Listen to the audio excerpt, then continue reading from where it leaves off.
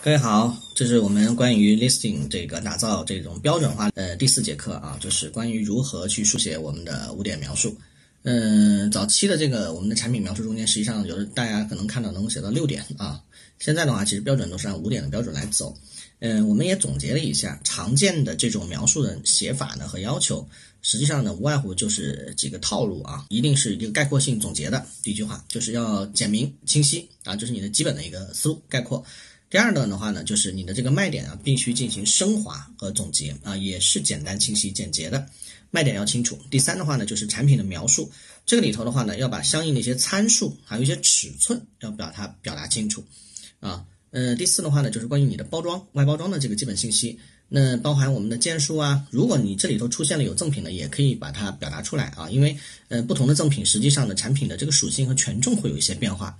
呃，第五个的话呢，就是关于它的这个质量保证还有售后。呃，我们在这个地方不要胡乱的去承诺我们的这个所谓售后，比如说啊，我们承诺你这个随时都可以更换啊，或者说是您三十天之内使用的这个不顺心，我们就是立刻给您更更换新的。其实，呃，其实没有必要这么去写啊，就是我们可以承诺的一条就是，比如说我们会在二十四小时之内随时回复您的问题啊，这个您有任何使用疑问呢，我们都可以给您去解答解释。啊，就是以这种换一种方式，其实提供一种相应的售后保障即可。第六个的话呢，就是呃做一些温馨提醒啊，使用方法呀，注意事项啊，使用的场景啊，呃这个地方其实要更多的是一些暖心和关怀啊，把这个提醒到就可以了。呃，最后一个的话呢，想要注意一些我们的这个五点描述的排版啊，这里可以增加一些呃小的图标啊、提醒符等等。